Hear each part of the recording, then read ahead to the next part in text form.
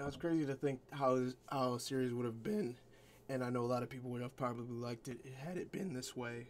Excuse me, it's a little raspy, or a certain way. For example, I'm talking about Team Seven. You know, it consists of Naruto, Sasuke, and the one we all hate, the useless Sakura. You know what I'm saying? Now, here's the thing.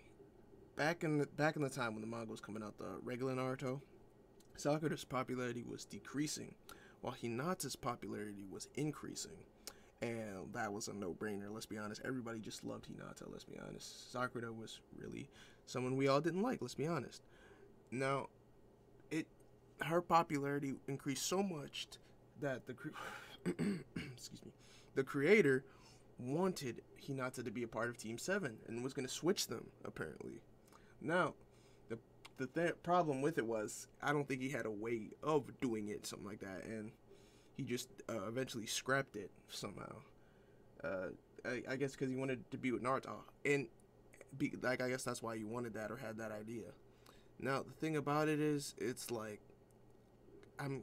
It would have created a better dynamic between Naruto and Hinata, you know, and it would have been it would have been awesome to see them work together on the same team. You know how how the dynamic would go between like you know a Byakugan user, a Sharingan user, and you know a Jinchuriki. Like I, I feel like that would have made a great storyline and or a team dynamic, and and you know Hinata didn't even have have that much screen time, and her popularity was still going up.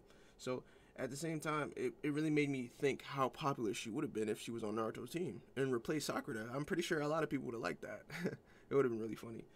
And to be honest, it's like, okay, we'd see less of Naruto getting hit all the time, which would be annoying because Sakura is annoying. We would see Sasuke a little more chill because he doesn't have to worry about Sakura fawning over her all the time. And you know, and everybody would have been happy. The fans would have been. I would have loved to see Hinata on Team Seven. Like, let's be honest. But let me know what you guys think in the comment section below. Give me a like, comment, subscribe, and I will see you next time.